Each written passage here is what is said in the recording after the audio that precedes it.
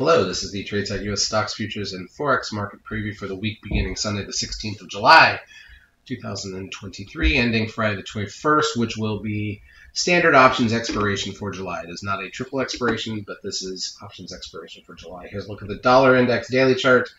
Broke to new lows uh, during the week, obviously, decent move. Uh, pound dollar, obviously, up to new highs. You know, again, we're uh, we're seeing the maybe the end of the interest rate hikes. Uh, the euro dollar, the inverse of the dollar index, popped as well. But the pound yen not at new highs currently. So, uh, you know, a decent move in forex finally, and it's still summer. This is usually the slowest time of the year. August and July and August are the worst for forex. Uh, we're half size, but things are going to pick up. Um, here's the ES front month futures contract. This is the daily chart of the broad market futures form. I'm going to point out that we've got a 13 secret sell signal now on the ES on the daily chart. That's a big deal. Target of that is 41.89. So again, heading back towards that red static trend line would be the obvious. Um, here's the S&P cash index. Uh, again, we're at new highs, but again, with that 13 sell signal, we'll see what that leads to. Here's the NASDAQ 100, also at new highs. Thing's up quite a bit, up uh, 45% in the last, since January 1st, basically. That was the bottom. Uh, Russell 2000 not at new highs, but in the top half of the range finally. Crude oil closes at 75.42, uh, which is kind of dead in the middle. This thing hasn't gone anywhere for a while. And gold uh, now sitting at 1964, uh, again dead in the middle of the range. Bitcoin at 30,307. TLT, the 20-year bond ETF, uh, nothing much here. Um, was up this week, so bonds up, rates down, as they say. But again, I think we're seeing the end of the rate hike cycle. Maybe one more hike and then nothing, and then maybe next year rates start to go down. We got the VIX at 13.34, so after a little spike there, it's come back. Advanced decline ratio on the Nasdaq was very negative on Friday, even though the market was up. Um, so just be aware of of that. Um, it's not, you know, obviously ideal. Well, market wasn't really up by the end, but it still was not a bad day. And yet the NADS, the, the advanced coverage negative 1487 is pretty bad. TRIN closes at 1.46. Uh, 10 day moving average, nowhere that matters. ES front month futures contract, five minute chart for the week.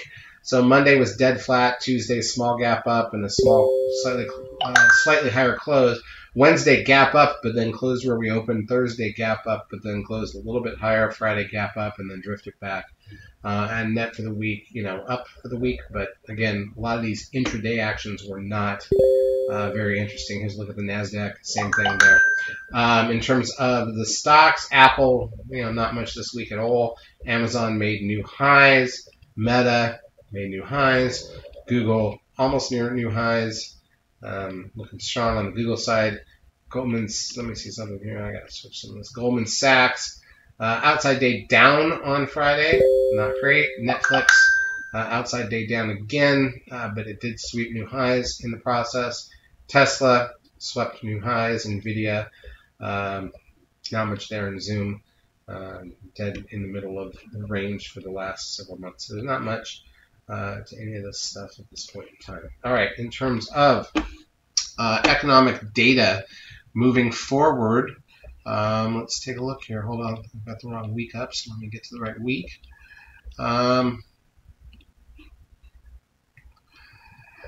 We've got final wholesale inventories at 10 a.m. Eastern Time on Monday. That's after China's CPI and PPI tonight. Uh, we've got uh, consumer credit at 3 p.m. Eastern Time. We've got uh, preliminary machine tool orders out of Japan. UK's got some data. There's no NFIB small business index out of the US at 5:50 a.m. on Tuesday. IBD TIPP economic economic optimism number at 10 a.m. Uh, New Zealand's got a rate announcement. Um, Canada's got a rate announcement on Wednesday. We've got the CPI here in the U.S. on Wednesday. That's one of the big three each month, so we'll be half size. Well, we're already half size for forex ahead of that. Uh, crude oil inventories at 10:30 here. Fed beige book at two. Uh, jumping to Thursday, we've got the PPI, natty gas, unemployment, initial and continuing jobless claims.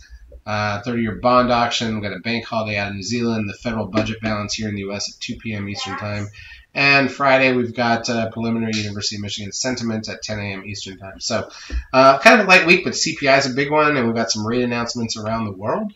And we will see what we get. Chart as usual brought to you by Ninja Trader. If you've not yet taken a trial of our services, feel free to do so. We will help you out for a couple weeks. Have a great trading week.